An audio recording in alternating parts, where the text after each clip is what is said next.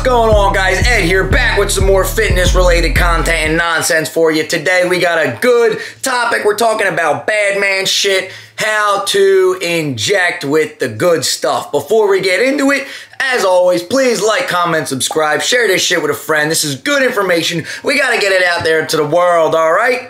Well, for my guys who are serious gym goers, um, when you step up into the big leagues and you're doing the big boy stuff, whether it's TRT or you're going with a full blown steroid cycle, how do you do it safely? Because you'll see guys start going crazy with this shit and start shooting gear into their biceps and their pecs and their lats and everywhere that they can think to put it in a muscle, they do.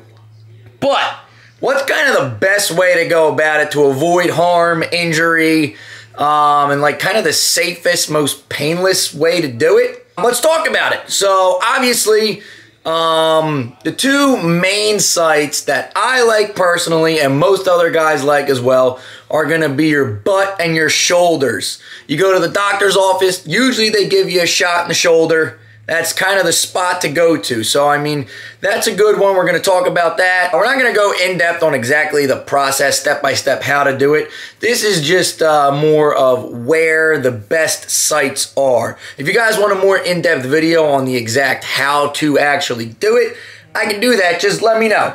Um, but yeah, today we're talking about my three favorite locations to put your TRT, steroid cycle, medication, whatever you're doing, whatever it is that you're doing. And that is either a dorsoglute injection, a ventroglute injection, or a deltoid injection. So, I mean, obviously the deltoid, you go to the doctors, they give you a shot in the shoulder. That one's not too hard to figure out. I mean, your delts are a pretty big area. You don't want to do it at the top. You don't want to do it at the bottom on the sides. You want to do it in the middle here where the real meaty part of your, your delt is. Boom, pop it in, take it out. You, you really won't feel it.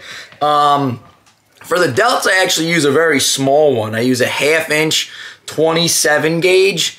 Whereas in my glutes, I'll use a one inch 25 gauge. So still pretty thin. Um, the higher the gauge, the thinner it is. So 25 is gonna be a little bit thicker than a 27. Um, and obviously one inch is gonna be a lot longer than a half inch. I got um, some little examples here if you just wanna see. I don't know if you can see, but this would be a 23 gauge one inch. That's what I use to draw it out of the, the bottle. And I'll inject it with a 25 one inch, but that's just a 23 for, for reference, one inch. Here's a 27 gauge half inch, if you can see that. Uh, let me try and focus in here. I can't get a good shot. They're very small though. Can you see that? Much, much smaller than, you can barely even see it. That's how small it is compared to, to that one. So this one, a big old harpoon honker, one inch, 23 gauge, and that's a 27 half inch. So 27 half inch, you barely even know it's in you. You don't even really feel it, just boom. Um, when I do my glutes, I do a ventroglute or a dorsoglute. Um, the ventroglute injection, I believe, is the gluteus medius, and the dorsoglute is the gluteus maximus muscle. So, where are they on your body? Well, your ventroglute, I'm going to show you right here, is kind of your hip. It's not really like your butt, butt like you would think. It's right on your hip. And there's a muscle here. It's kind of like your hip muscle. And you can actually feel the difference where this muscle ends right about there, that's where my butt, my uh, gluteus maximus starts. So you do a ventroglute or a dorsoglute. Your ventroglute's going to be in the gluteus medius. That's this hip muscle. You just kind of relax it. Boom, stick it in, and you do your thing, and then you're good to go. The gluteus maximus for your dorsoglute injection is going to be your big butt muscle. But you want to do it in the outer part and the upper part because you want to avoid the sciatic nerve. The sciatic nerve, if you hit that, you're going to have a bad day. So think about splitting your butt cheek into four quadrants. You want to do the highest quadrant and the one that's on the outside. All right? So that's where you do your dorsoglute injection in the gluteus maximus muscle, and then the ventroglute goes in the gluteus medius muscle. All pretty painless. Um, might feel a little like poke uh, when you're going in, but once you're in, you're fine. Nothing to worry about. A lot of guys like to do the quad. The quad muscle I avoid. I've never even tried it because there's a lot of nerves and shit that you can hit. And I've just heard the quads are like a pain in the ass. Like there's many ways to screw it up and either hit a nerve or something or you, you get, um, there's real bad pain from it. So I avoid that. Um, I usually like to switch sites around. So I'll go from like ventroglute, ventroglute, dorso, dorso, maybe shoulder, shoulder. That way you're not hitting the same spot every single time. When you rotate it, you build up less scar tissue. Bada bing, bada boom. Keep it like that. Um, I mean, then there is the whole argument of whether you want to do subcutaneous in the fat or intramuscular. I do intramuscular. Maybe sometime in the future I'll try sub-Q and see if it changes anything, see if I like it better.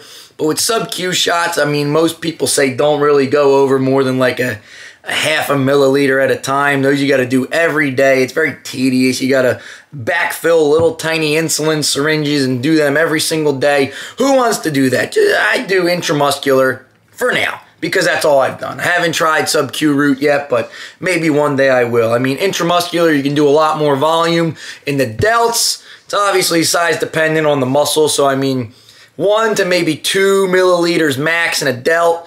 You can get away with two to three milliliters in your glute, whether it's ventro or dorso. So you can get a little bit more volume in your glute.